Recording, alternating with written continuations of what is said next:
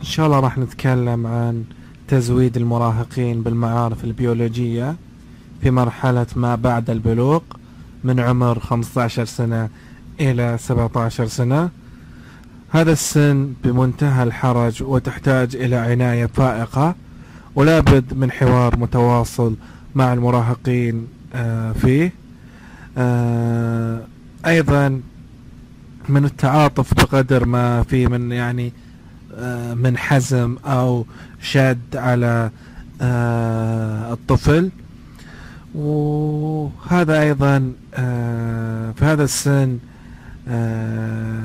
يلم المراهق بترشيح الجهاز التناسلي للذكر. وأيضا الأنثى وآلية حدوث الحمل. من الضروري تعليمهم أيضا ويعتبر المراهق نفسه كبير في هذا السن ويعتبر من حقه الاطلاع على كل شيء وربما تجربة كل شيء أيضا. هنا نختلف آه، عن القارب طبعا حيث يواجه المراهق آه، بعض من آه، المشاكل التي تمر راح تمر عليه في حياته المستقبلية. وأيضا من الضروري تعليمهم وسائل آه، آه، منع الحمل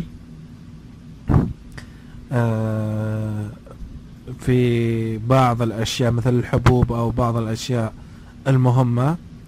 إلى هنا انتهى الدرس. كان معكم الباحث خالد بن سعود الحليبي. إن شاء الله نشوفكم في درس قادم.